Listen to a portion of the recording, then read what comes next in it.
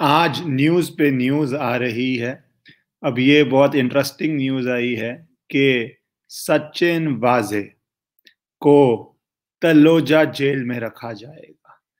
इसलिए हमेशा कहते हैं कि कार्मिक साइकिल लाइफ का बहुत बड़ा और इम्पोर्टेंट है। ये वही तलोजा जेल है जहाँ पे अर्नब गोस्वामी को रखा गया।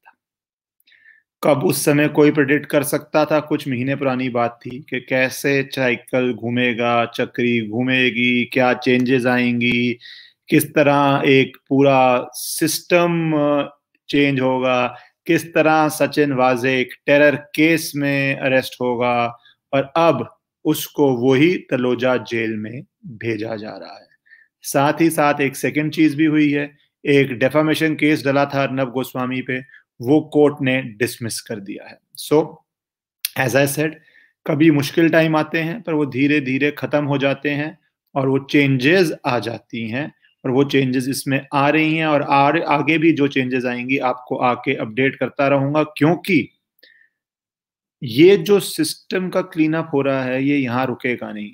इसमें जो और भी बहुत सारे केसेस हैं उसके बारे में भी चीज़ें बाहर निकलती हैं। समय लगता है पर होगा सब।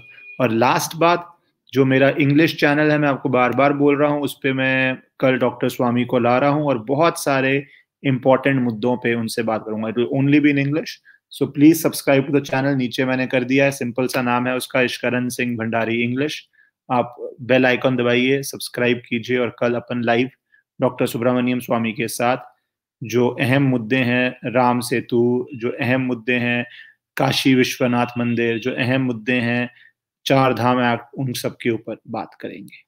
ये नीचे लिखा हुआ है। Thank you